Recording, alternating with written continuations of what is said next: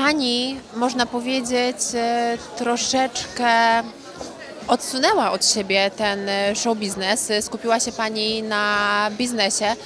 Nie brakuje Pani tego świata? Tak naprawdę ja